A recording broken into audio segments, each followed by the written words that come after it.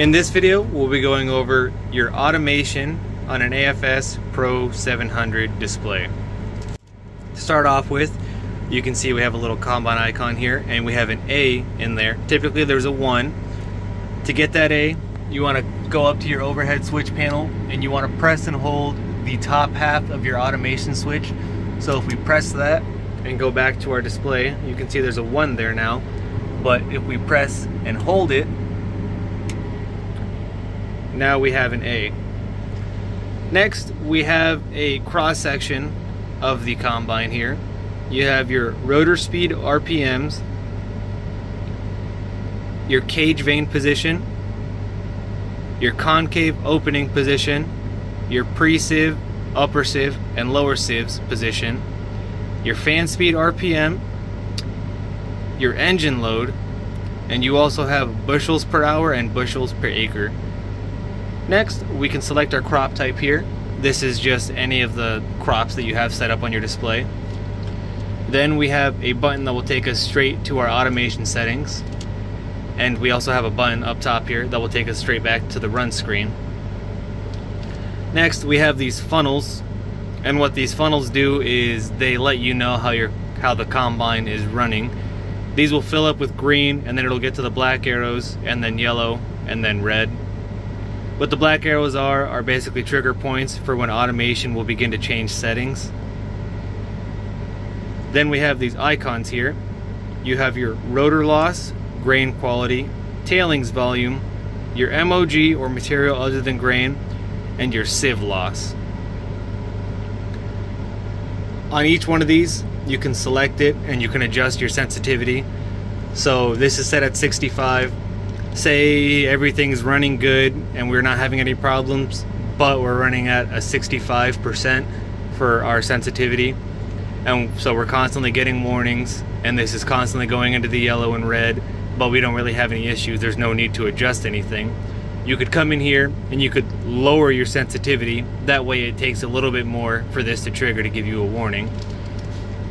If you're having issues and you think this should be giving you a warning sooner, you'll click on it and you'll increase it. So to change it, you just want to click anywhere on here, whether you want to increase or decrease, and then you would press enter. If you, by mistake, adjust these, you can just press X and it'll go back to where it was, back to 65, how we had it. Next, we'll press the back button and we'll go to our automation tab. And now we can see we have several tabs for settings. On the basic tab, you have your crop type, which again, that's just any of the crop types you have set up on your display. Then you have your working condition. Working condition is basically the name you have set for all of your automation settings. You can set this to be whatever you want, or if there's preset ones, you can hit select and select from any of the ones that you already have uh, set up on your display. Next, you have your strategy. You have best grain quality, which will give you the best grain quality. Then you have performance, which will allow your combine to run the best that it can. Then you have maximum throughput, which will allow your combine to run through the maximum amount of crop that it can. And then you have fixed throughput, and what fixed throughput is, say you only want to do 3,000 bushels per acre, you can set that, and so your combine will only be able to run 3,000 bushels per acre. Next, you have your target ground speed. Say you have a maximum speed that you want your combine to be running through for every single uh, operator when they are running this crop. So you would set that to whatever maximum ground speed you'd want. Same with maximum engine load. Say you have something that's a little harder to run through your machine, so you'd want to lower the maximum engine load so that way you're not damaging anything. Next, we'll go to our advanced tab. Here you have your initial settings you can select between automatic and current setup. Current setup will be operator set settings, and automatic will be the last settings that automation had saved for the crop that you're currently running. Next, you have adjustment frequency, and this will just adjust the frequency at which it takes samples from one of the many sensors in the machine and adjusts settings. Uh, low is every 40 seconds. Medium is every 20 seconds and high is also every 20 seconds but it also takes two seconds of uh, grain camera readings to uh, adjust your settings. Then you have your threshing condition. Threshing condition is just the aggressiveness of your thresher. Typically, at the beginning of the season, you want to start off on either medium or hard. If you're running really dry grain that is really easy to just shell, you can do easy, but typically you're running through anything that's wet or green, you want medium to hard. Next, you have your maximum rotor speed, which is just the maximum speed you want your rotor to run. You would click on this and just enter in an RPM that you'd want. And then you have your sieve load configuration. So if we were to set that to on and press back and go back to our run screen, you can see we have this little sieve load scale here now. So that's all the load configuration is. It'll just put that scale there. On each one of these two, you can press the eye icon and it'll give you a quick rundown of what that is.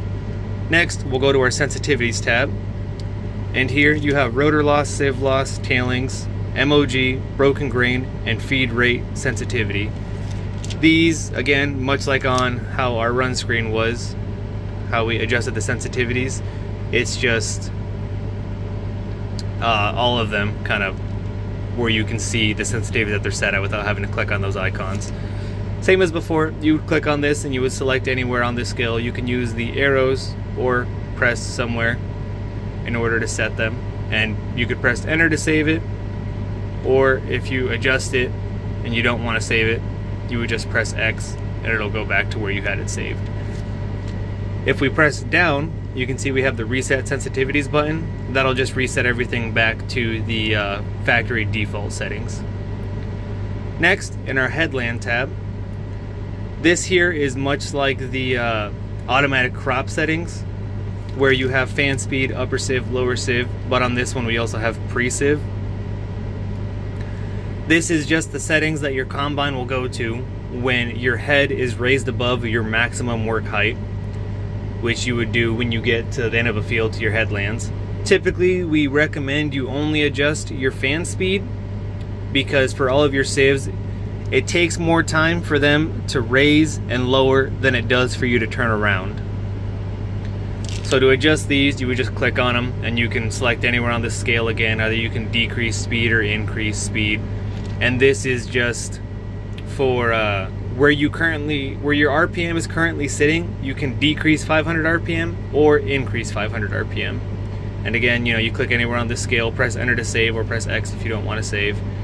Same here, you can either go down 10 or go up 10 from where you are currently set when you enter your headland. And it's the same with the other two. Next, we have our status tab. And all this is is the status of every single one of your uh, sensors that are in the combine. You can click the arrow, go down, see you have a couple more. So for whatever reason, uh, your combine and your display are not recognizing that that sensor is there meaning like you have a broken wire or a loose wire, then you would get like an X here instead of the green check mark. So you can see here all of our sensors are good and they're communicating properly. Next, we have our ranges tab. Here you can select your crop type, you can select your strategy again, and your threshing condition again. But we also have ranges that we can set. So if we click on our fan speed range, you can see default is a thousand, for minimum and maximum default is 1150 so you can see here what we have it set to is 1100 rpm for minimum and 1150 for maximum. So you can change these by entering in any number. And again you know for a maximum also you can just select it enter in whatever number you want and you can also reset it back to default which would be these numbers here or you can enter in whatever you want and press OK and it'll save. It's the same with uh, your sieves. You can come in, you have reset, you can see what the default is for minimum and maximum, and then what you have it currently set to. And again, you just select it, enter in whatever you want. You can press enter to save or X out of it to not save, and then hit OK. Uh, same thing with your upper and lower sieve ranges, and then if you go down, you also have your rotor speed range and rotor vane range and you can also uh, reset all your ranges back to their default ranges. And here you can also turn on or off your ranges. If you want your combine to operate within specific ranges, you can set it on. If it's not something that really is important to you, you can turn it to off and then you can see all the ranges went away. So if we turn it back on, all of our ranges come back. Next, in the bottom right hand corner, we can press the arrow, scroll over. Here we have info and you can see recommended combine settings for our current crop type. So if you have any questions about how you have everything set up, you can come in here and kind of see what this all says to kind of, you know, help guide your judgment to how you have your combine set.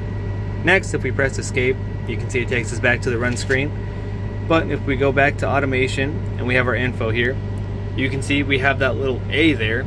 If we go up and we press our automation switch to turn it off, now we have the one and we also have a button that'll take us straight to our automatic crop settings. And that's a quick rundown of the automation system on an AFS Pro 700 display.